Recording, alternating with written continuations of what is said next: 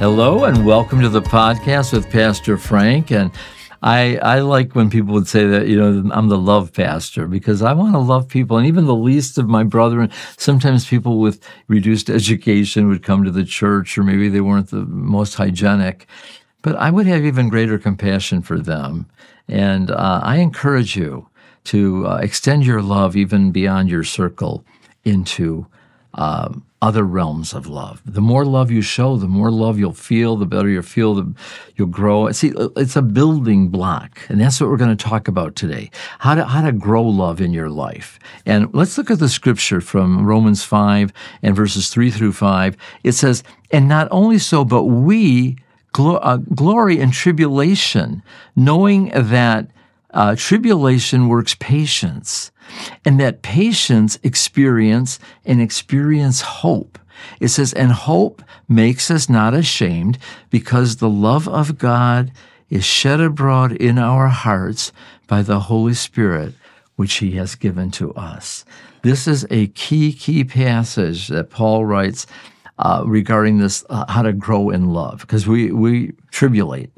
in this world, we will have tribulation, Jesus said. But how do you handle it? It's not about what happened to you, it's about how you handle it, your reaction. And God wants to build this into you so that when it comes, it builds experience. And you'll say, Oh, I, I know how to handle that. I went through this. And experience upon experience through the tribulation, through the experience, develops a patience. That means a long suffering, and endurance, and ability to continue. You know, I've, I've quit a couple of times in my life certain things that take me two years to get back to where I was. And I vowed to God, I will not quit in the middle of something again by the grace of God. Amen. But mm, see this tribulation it brings about patience and the patience really is connected to hope you know you have a vision that this is going to work out even though i'm going through some tough stuff right now with god's help i know that i can make it and the hope is built on the love of God that is shed abroad in your heart by the Holy Spirit who has been given to you. And so the love of God is shed abroad in my heart and your heart. And it actually says that Jesus was speaking about the Holy Spirit when he said, Rivers of living water will gush forth from your innermost being after he was glorified. So, the thing I want to say to you in this program, if there's anything that I can emphasize about the, your love walk, is that you don't do it alone. You do it with the help of the Holy Ghost. The Holy Spirit inside of you will help you in your love walk if you'll lean on Him. He's your helper, your comforter, He's your paraclete, your advocate. The Holy Spirit is the third person in the Blessed Trinity. He is God, He is inside of you, and, and He develops the character of God in you. And the number one character is love and, and joy in the Lord and peace and patience and goodness and kindness and meekness and temperance and faithfulness. This is the character of God. You begin to take on, you know, who God is because the Holy Spirit is God. And when you allow the Holy Spirit to, to work inside of you, the Holy Spirit has been given to us, you will walk in this divine love and you will understand that you didn't do it. You will know that the Spirit of God gave you the grace to show the love in the moment.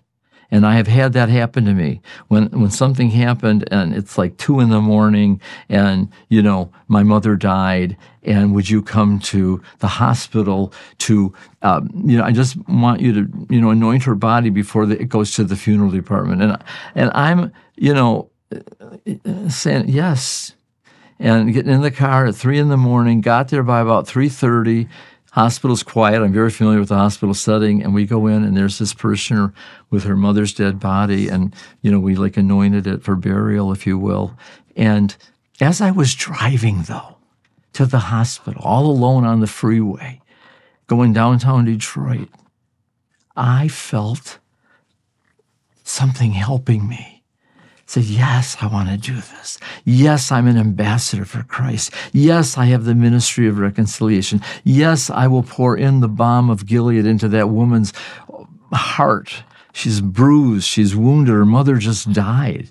And to think to call Pastor Frank but what a privilege to be an ambassador for Christ. And you will have these same experiences where you feel that you are the one God chose to enter into this person's life, to, to allow them to, uh, to feel the anointing, the, the love of the Holy Ghost through you.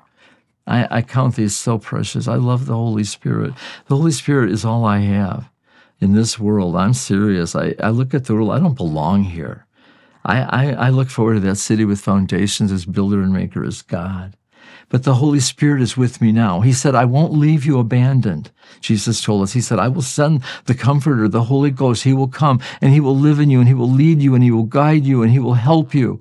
And I want you to avail yourself of the help of the Holy Spirit in your love walk because it's a process. You don't become a great lover all at once, but as you live out life and making these right choices with the help of God, it builds line upon line, precept upon precept until you are walking in the love walk and you have a love walk that no one will deny. They will say, you know, I want to love the way he loves. I want to pour out myself. I want to be a libation. Like Paul says, I'm poured out for you. I love you. And love is real. And people can tell when you're a phony. And when you really allow the Holy Spirit to love them th- through you, it's real. I'm telling you, it's real. I have people tell me it's real. It, it means something. But we have to choose it. The Holy Spirit won't just do it, but we must say, I want you.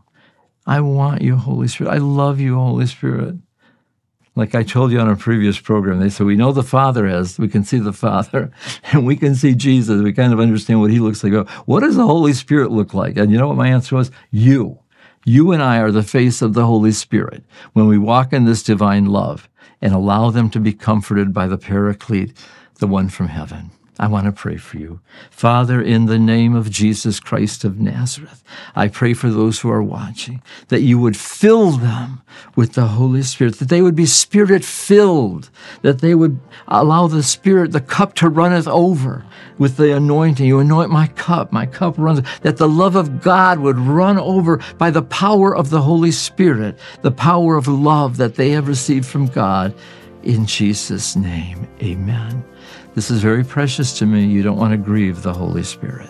Father, in the name of Jesus, grow this ministry. I want to tell more people about your love. You help me. Tell somebody to tune in and write me, frankjulian5 at gmail.com. And thank you for listening and tune in next week. Bye for now. On behalf of Frank Julian Ministries, we want to say thank you so much for listening. We upload podcasts every Thursday on Roku, YouTube, and audio podcasts, so make sure you subscribe so you don't miss out. If you need prayers or seeking a prayer community, we're here for you. Come join us on our Facebook page, Love, Prayers, and Healing Podcast with Pastor Frank. See you next week.